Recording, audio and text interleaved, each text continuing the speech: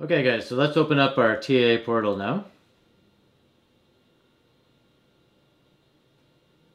It takes a little bit of time to come in. Beautiful. Okay, so what we're going to do is we're going to create a base PLC program. So we did all those configurations. Um, let's do that one more time and then we'll save it as our base PLC program. And then we can bring that up anytime we need to do any other programming. That way all the configuration is done and we know that it's able to speak to our PLC. So we're going to create a new project. Okay, we're going to call this guy base PLC program.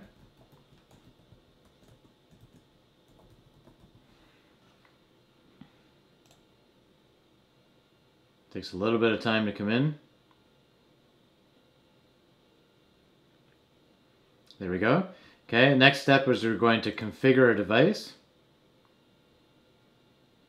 Okay, there's nothing there, so we're going to add a new device.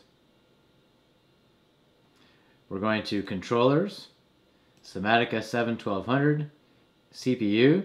Now I know that I have a, a 1212 AC-DC relay, which is right here. But there are three different models of that guy. So what I'm going to do is I'm going to come down here to unspecified CPU, open this up, and I'm going to choose this guy right here for an unspecified CPU. Then I'm going to hit add, and you'll notice here on the left hand side it says open device view. So hit add. Now this again takes a little bit of time because it's going to add in that unspecified CPU and then we'll, we'll see the device view, but the device uh, in front of us will be like this. It'll just be a generic PLC. So we'll have to do one more step in order to tie into our 1212C.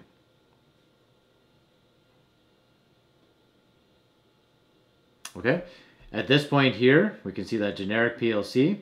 We can go to two places. We can either go to here, to accessible devices, or we can go here to detect the configuration of the connected device. So let's try this. Excellent. Okay, so I'm using uh, this interface, PN slash IE. What are the options here? That or teleservice, so we're doing this guy. I'm using my Ethernet adapter. I simply have uh, an Ethernet patch cable going from my computer over to my PLC.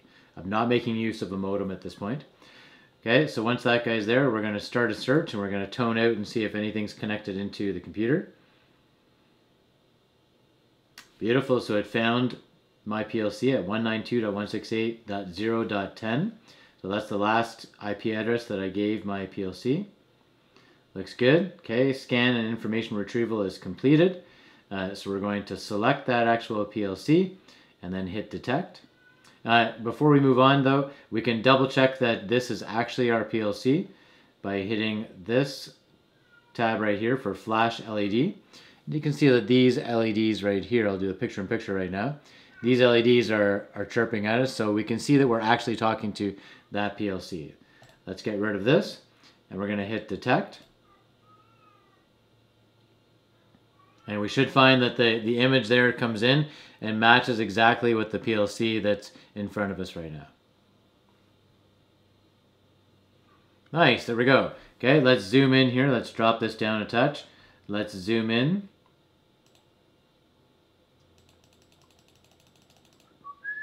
There we go. Okay, and there we can see that this basically matches with the PLC that's in front of us. Uh, we have uh, 0 through 7 for our inputs here. So we have 8 inputs. And then the back, back end here we have 6 outputs. So there's Q0.0 all the way through to 0.5. Nice. Uh, let's double click this guy and double check our IP address. There we go. So 192.168.0.10. And I'm using subnet mask of 255.255.255.0. Okay, you'll notice that um, if I scroll down here, I am not using a router at this point. I just have my Ethernet cable going from the computer to the PLC. We'll use a router later on when we're making use of the HMI. Okay, so now let's create uh, a simple pro program here. So we'll drop this guy down. We'll go to our main program block here. So I'm over here on the left hand side. I'm going to my main OB1.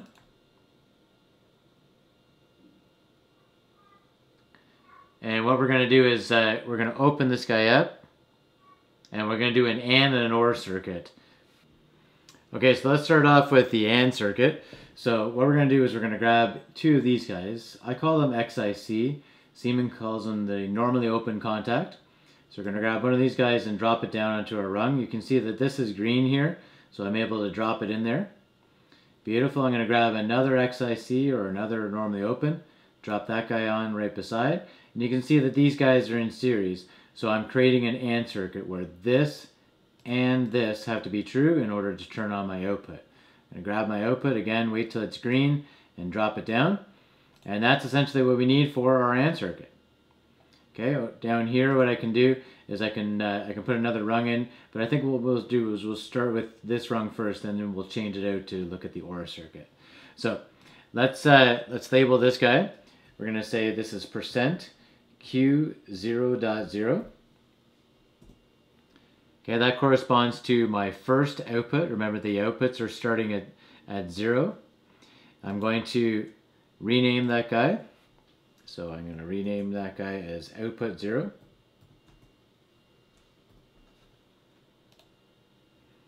Okay, excellent.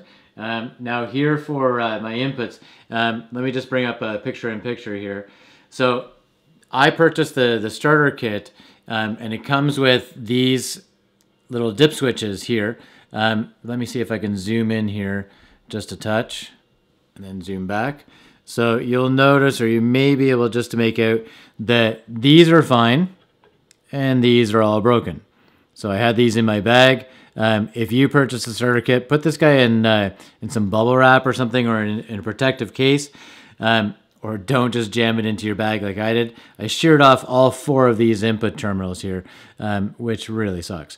So I'm going to have to make use of, let's see, this is zero, one, two, three. I'm going to start at input number four. So I'm going to be using this terminal right here as my first input. Um, you can use zero if you want because yours is probably not broken. Okay, but I'm starting with uh, input four and I'll use input four and five for this AND circuit. So if you're wondering why I'm randomly choosing four and five, it's because I broke the other ones. Okay, so let's start off this guy. So we're going to put percent uh, input 0 0.4. Okay, and then over here I'm going to tag this guy as uh, percent input 0 0.5. There we go. And let's relabel, relabel those guys. So we'll rename this guy as uh, switch A.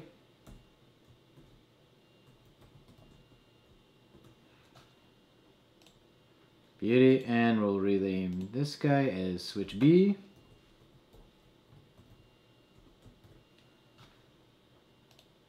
Sweet. Okay, so everything's set. Now, um, I tried this before and I forgot to compile this program. So we're going to come up here next. So now we put in a base program here. We're going to come up here to compile. That's going to check that everything's cool according to what we've placed into the program. There's no errors or anything. Okay, looks good. Blocks was successfully compiled. Compiling finished. Error zero. Warnings zero. That's a good start. Now, before we download this, I want you guys to do one more thing. So we're going to go back to uh, this view right here. Come on. There we go. Okay, so and a couple things to note here. You can see that uh, there's my input 4, and you can see that it's been labeled switch A. There's my input number 5. It's been labeled as switch B. And down here, there's my output 0, and it's labeled as output 0. Okay, what I want you to do is I want you to right-click on this guy, and then I want you to scroll down to download to device. And I want you to download um, the hardware configuration because I just tried this and I downloaded it to my PLC. I, cha- I physically changed the inputs and I could see the LEDs changing on the on the actual PLC. But when I went into the monitoring mode, it was not changing on my PLC program. So go here to hardware configuration, click on this guy,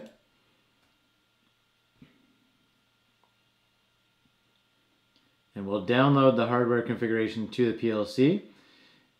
And then at that point, once we start toggling the, the toggling the dip switches, uh, we should see it on the LEDs of our PLC, and we'll see it on our program as well.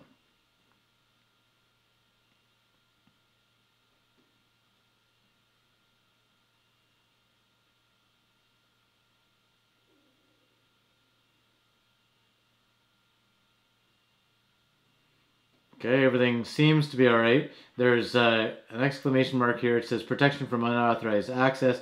Devices connected to an enterprise network or directly to the internet must be appropriately protected against unauthorized access.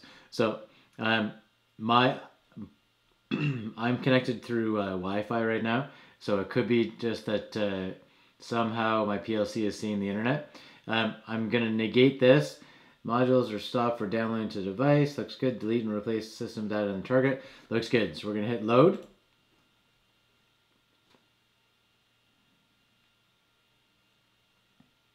Beautiful. We're going to hit finish. Looks good. So at that point, uh, here we can see loading complete, error zero, warning zero. So at that point, the hardware configuration should be there, and we should be able to talk back and forth now. We should be able to see it on our PLC program. Let's go back to main OB1. Okay, uh, we've already compiled it. We're now going to download. So there's the compile button. There's my download button. Okay, looks good. We'll hit load.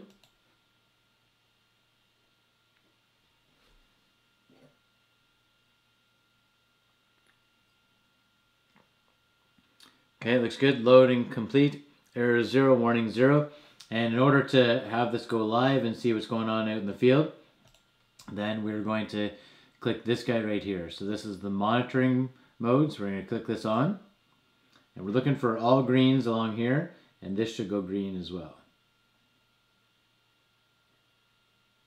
Slowly coming in. Beautiful, okay? These are all green. This is green as well. Um, and But again, if you didn't do that hardware configuration, you would see this, but when you actually physically change the, the inputs on the PLC, you wouldn't see these change. Okay, so um, I'm now going to toggle these dip switches up here. Okay, so I'm going to zoom into my LEDs here, but I'll be toggling these guys right here. Okay, so let's zoom in here. There we go. I want you to keep your eye on uh, inputs 4 and 5. Uh, negate these guys. So these are garbage, right? Because I broke those off. So it looks like 1, 2, and 3 are set in the on position. Uh, but we're going to look, look at input 4 and input 5 on our LEDs. We're going to look at this LED right here for our output 0, and those are going to correspond to these guys right here. So I'm now going to switch input number 4, and you should see this guy goes green. Oh, it's nice. Excellent. In addition to that, you can see that uh, this LED just fired on right here for input number 4. And this is an AND circuit, right? So this has to be 1, and this has to be 1 for this guy to be 1. So this guy's a zero right now because I haven't switched input B on on input five. I'm now going to do that right now. You'll see this go green and instantaneously the output will turn on. So you will also see that this LED turns on and instantaneously the output zero LED turns on as well. In three, two, one. Oh, that's nice. Excellent. Okay, so this guy and this guy are on, turning on our output. You may have heard that little quick click.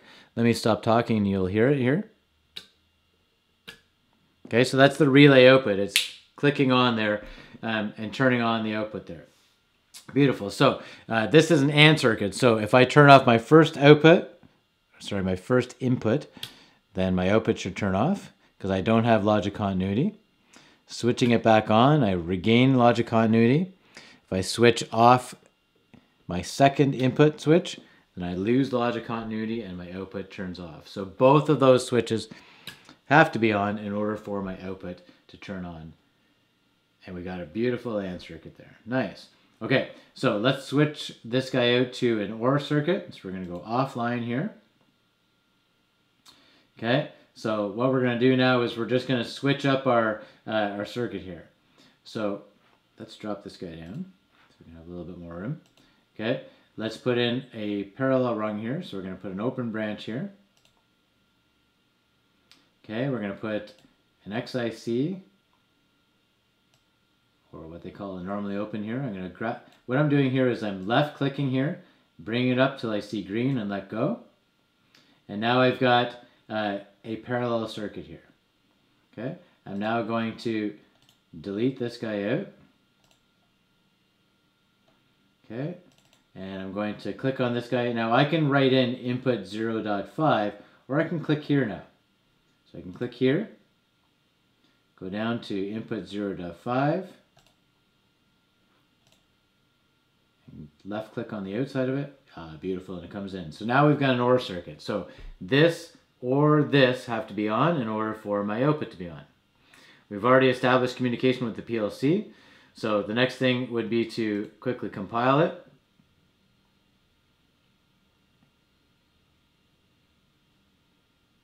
Beautiful, no warnings.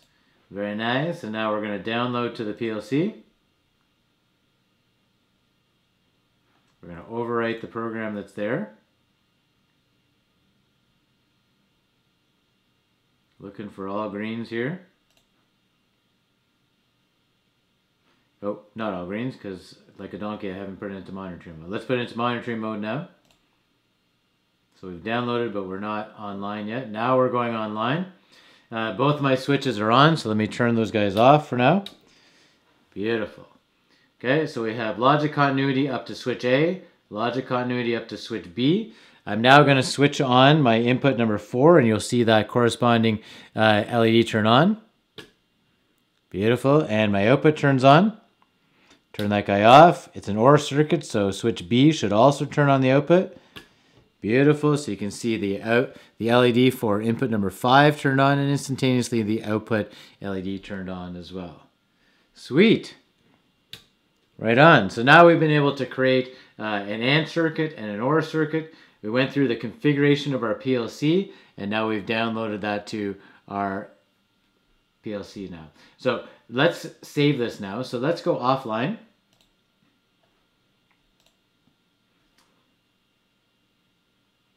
Okay, we've been saving this as our, our base program all the way through. So let's save this one more time.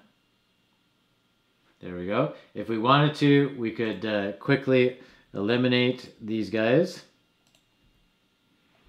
Okay, we could go to our PLC tags. Okay, and we can just uh, quickly just cut these guys out. Let's see if we can cut all these guys out. So we can delete this guy delete this guy, and delete this guy. Why are we doing that? Because we need a base program that we can use um, time and time again every time that we sit down and start programming our PLC. So now if we go back to our main OB1, there's nothing there except for the network. Our tags are now clean. So we don't have any names here corresponding to our inputs or our outputs. If we go here to our PLC, Everything's set up now, so all those names disappeared. The IP configuration for our Profinet interface is set with our appropriate IP. And now we can save this bad boy. And now we got a nice base PLC program that we can work with uh, from here on in. All right, guys, that's good enough for uh, for this video. Keep going on the playlist here. Uh, but we've done pretty well. We've been able to go through the configuration. We were able to download the hardware configuration. Then we downloaded our, our actual PLC program. We are able to do an AND circuit and an OR circuit. Uh, and we'll just consistently get a little bit more complicated and we'll introduce uh, more and more instructions as we go. But now we've made sure that we can actually talk to the PLC every time that we sit down and start a new video. All right, guys, thanks very much. We'll see you in the next one.